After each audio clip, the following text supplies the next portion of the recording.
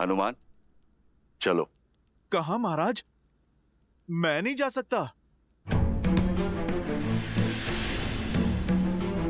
मुझे अभी अभी वचन की महानता सिखाई प्रभु श्री राम ने।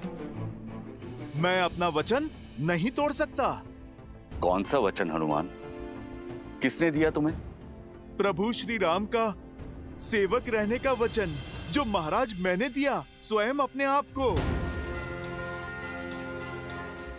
मैंने अपने प्रभु की परछाई बनकर रहने की सौगंध खाई थी।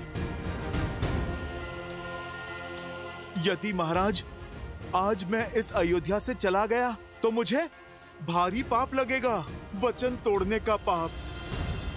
तुम्हारा स्थान किशकिंदा में है हनुमान। नहीं जामवन जी मेरा स्थान किशकिंधा में तब तक था जब तक मेरे प्रभु श्री राम वहाँ पर थे।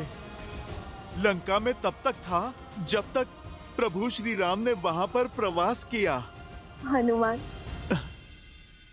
जब तक तुम चाहो तब तक यहाँ रह सकते हो। परंतु देवी वहाँ किशकिंदा वहाँ नहीं महाराज यहाँ पर मेरा हृदय मेरी माता सीता और मेरे प्रभु के चरणों में है। आप सोचो जिसके हृदय में प्रभु श्री राम और माता सीता हैं, भला उसका स्थान कहीं और कैसे हो सकता है?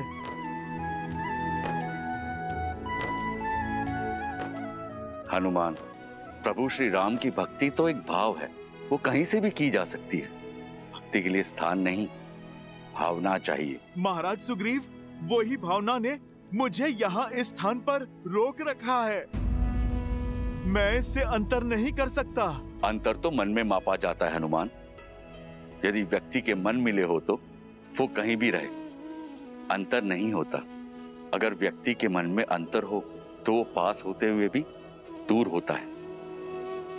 श्री राम तो रोम रोम में इस भू के हर कण कण में है।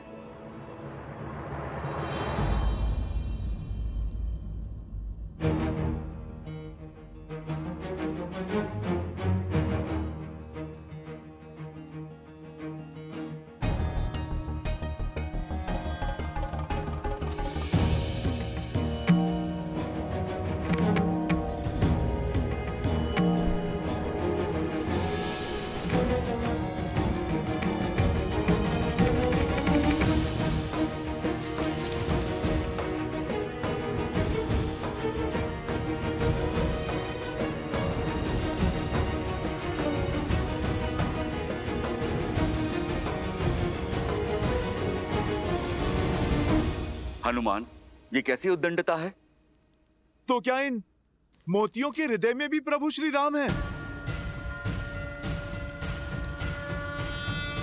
विद्यावान गुणी अति चातुर राम काज करिबे को आतुर प्रभु चरित्र सुनबे को रसिया राम लखन सीता मन बसिया। लाल देह लाली इसमें तो नहीं है प्रभु श्री राम इसमें भी नहीं है प्रभु श्री राम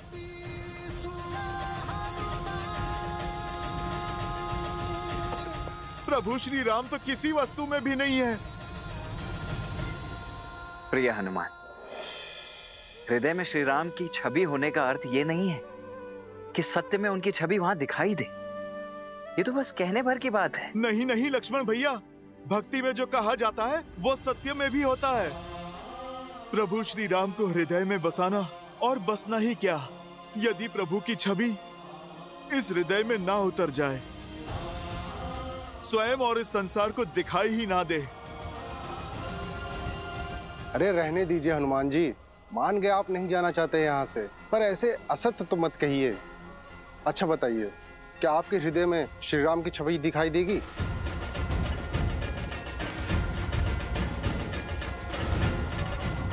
देगी और यदि ना दिखाई दे तो हनुमान के लिए इस जीवन का इस हृदय का कोई अर्थ नहीं। तो फिर सिद्ध करो।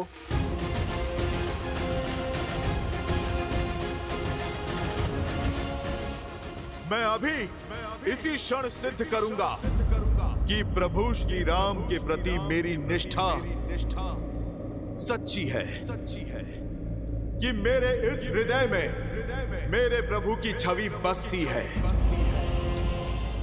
सतीत्व की दुहाई देने वाली आज मुँह छिपा कर क्यों जा रही है? दशानन जैसा बलि जिसे पाना चाहे, उसे छोड़ कैसे सकता है? पर इतने समय रावण के पास रहने के बाद, अब मुख छुपा रही है।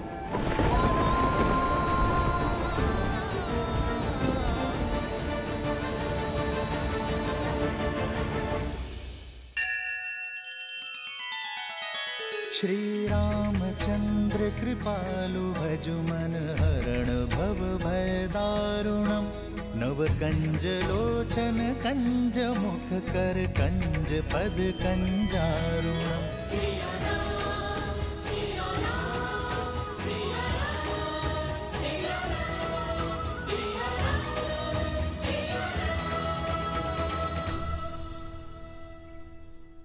महाराज, नदी में ज्वार आया हुआ था। नौका नहीं मिला। भयानक आंधी और वर्षा हो रही थी। इसी कारण मैं अंधकार के पूर्व घर न लौट सकी। सिर्फ़ इसीलिए मेरे पति ने मेरा बहिष्कार कर दिया। पूरी रात मैं बिना खाए पिए तट पर बैठी रही। और मेरे पति का कहना है कि मैं नाव चला के स्वयं क्यों नहीं चली आई? खाली मटके के सहारे नदी पार क्यों नहीं कर ली? या मैं डूबकर मर क्यों नहीं गई? महाराज मैं उनका संदेह कैसे दूर करूँ? कैसे सिद्ध करूँ कि इनके अतिरिक्त मेरे इस मन में किसी और का स्थान है ही नहीं? एक नारी के लिए इससे बड़ा लालचन और कुछ नहीं है, महाराज। मैं जानती हूँ, आत्महत्या से बड़ा और कोई पाप नहीं।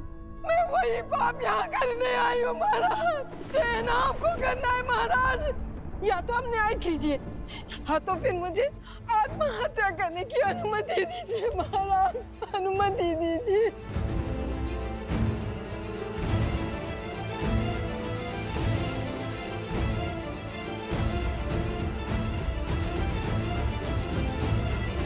भैया हमें इसी क्षण जाकर उस वस्त्र को दंड देना चाहिए। और यदि आवश्यकता पड़ी तो पूरे समाज को दंडित करना चाहिए। भरत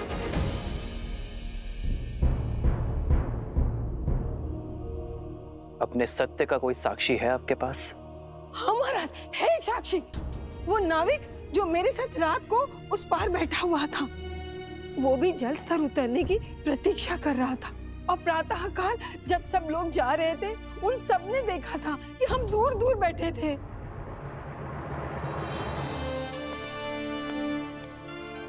उस नाविक को दरबार में प्रस्तुत किया जाए। कौए के घोंसले में अंडे किसके हैं?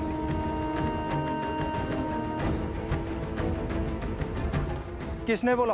बोलो। किसने बोला? तुम्हारे मंत्रियों और अधिकारियों में लोभ और लालच पर दूँगा। प्रजा के मन में अविश्वास और संघर्ष का बीज बो दूँगा।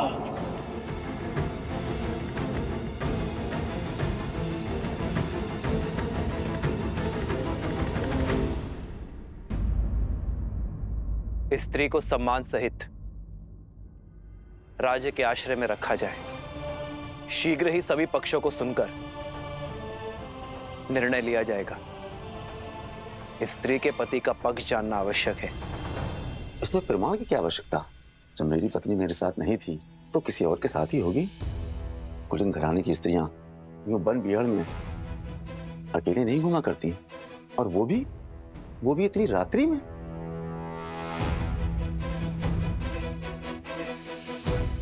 राजकुमार। राजमहल में घटनाएँ छुपाना सरल है क्योंकि भय के मारे वहाँ कोई कुछ नहीं बोल सकता। परंतु हम सब साधारण लोग हैं। हमारे जीवन की घटनाएँ नहीं छिपती। राजा से कोई प्रश्न नहीं पूछ सकता। पर हम पर उंगलियाँ तुरंत उठ जाती हैं। दुष्ट! तुम्हारा दुस्साहस कैसे हुआ? तुम कहना क्या चाहते हो? देखा ना राजकुमार। राजमहल के विषय में प्रश्न हो तो ये प्रतिकार मिलता है आपके द्वारा। देखा काम वालों। ये अन्याय है। उचित अनुचित का निर्णय राजा करते हैं। कोई और नहीं। छोड़िए प्राण निकल जाएँगे। ये कैसा न्याय है? राजकुमार राजकुमार छोड़ दीजिए।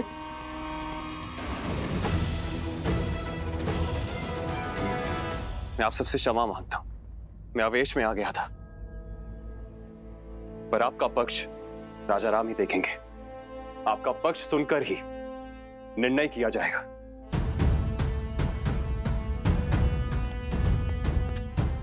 बात इतनी बढ़ गई है। अब महाराज ही न्याय करेंगे। सारी अयोध्या की मति कैसे भ्रष्ट हो सकती है? माना कि वस्त्र के मन में सहस्त्रमुख रावण ने विष खोल दिया किंतु सारी प्रजा अपने सोचने समझने की क्षमता को भूलकर अनुचित का अनुसरण कैसे कर सकती है? किसी ने कुछ कह दिया बस उसी सोच को थामे हुए हैं। अनियंत्रित मन और मस्तिष्क दोनों ही विनाश की ओर लेकर जाते हैं और मनुष्यों की यही दुर्बलता। सहस्त्रमुख रावण का बल है। किसी भी मत या विचार को सत्य मानने से पूर्व अपने बड़ों या गुरुजनों से उसके औचित्य का प्रमाण अवश्य लेना चाहिए। For more update subscribe to our channel click the show link and enjoy watching the videos